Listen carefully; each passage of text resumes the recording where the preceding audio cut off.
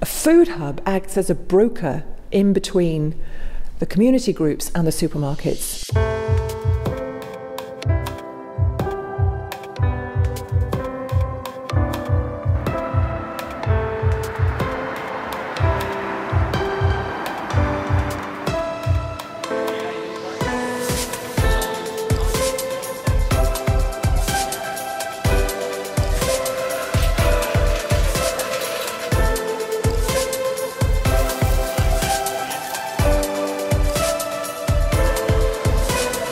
I'm a member of the United Reformed Church in, in Shrewsbury here. I'm passionate about work on the, in the environment uh, and I'm also uh, passionate about supporting the, the most needy people in our communities.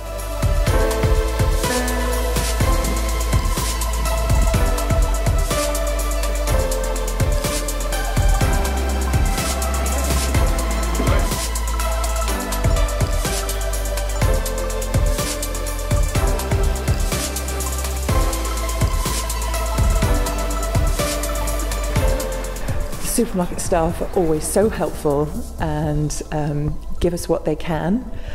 And what we do, load it into the back of our cars. Take it to their food hub and then they will start dividing it up to go to each of their 35 organisations.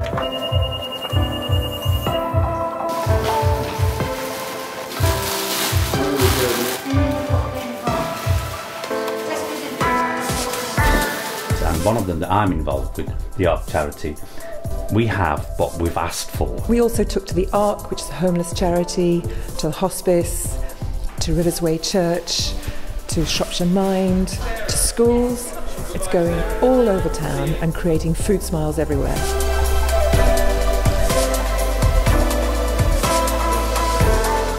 We have what we've asked for every day. We don't get things that we're not going to use. It's quite difficult for community groups to get hold of surplus food. You probably don't have enough volunteers to go and collect regularly.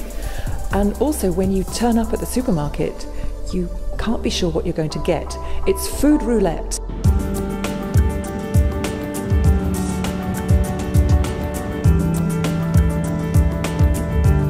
Everything that God has made, He's made out of love. Uh, and he, he cares for it and He sustains it. And it's for everybody to flourish and benefit from. And if there's an excess of all of this food, all of these resources, and there's plenty, in fact, there's too much for people, and we're aware that people have no access to this, then it should be shared out. The surplus food that you can get from supermarkets means that community groups can do so much more because they've got free, good quality food. I think the church is ideally equipped to help with uh, or establish food hubs because they know their communities, they know individuals and, and families who are struggling, who would benefit from provision of good quality food.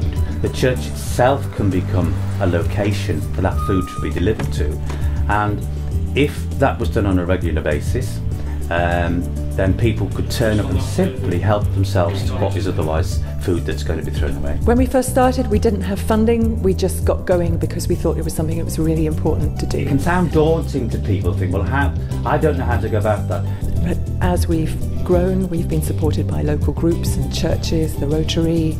I, I, mean, if you were a church that thought, well, this is an initiative we, we can tap into, we have people who are willing to be involved, we know that there are people in need in our community. But what we've done is we've created a small toolkit to make it easier for other groups to get started, and that's on our website.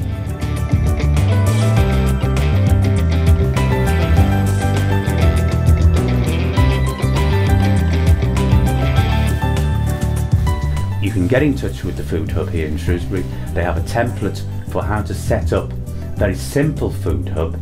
They can become part of their network and there's, there's, there's a team of people who would come and speak to that church and say, here's how you go about setting a food hub, here's how you contact the supermarkets and then you'll be up and running.